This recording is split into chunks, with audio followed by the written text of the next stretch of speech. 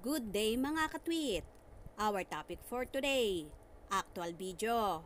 Kim Chu, bigay todo ang birit sa pagkanta. Let's check it out!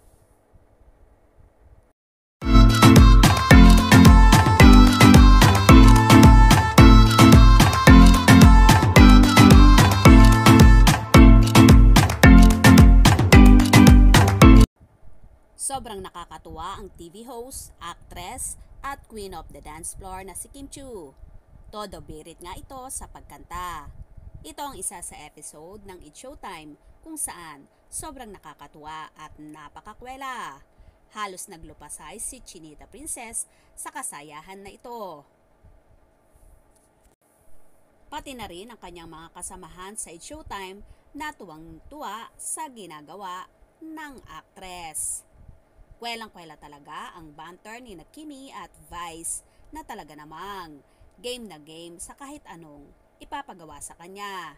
Kaya naman, love na love si Kimi ng kanyang mga kasamahan kasi wala itong kakeme-keme. Ipaglalaban ko! Dina Morales, Bini Games.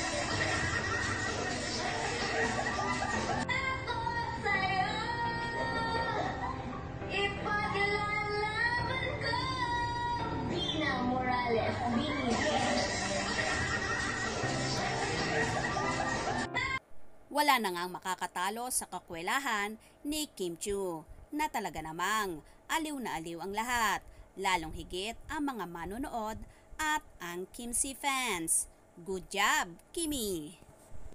Anong inyong magiging reaction sa balitang ito?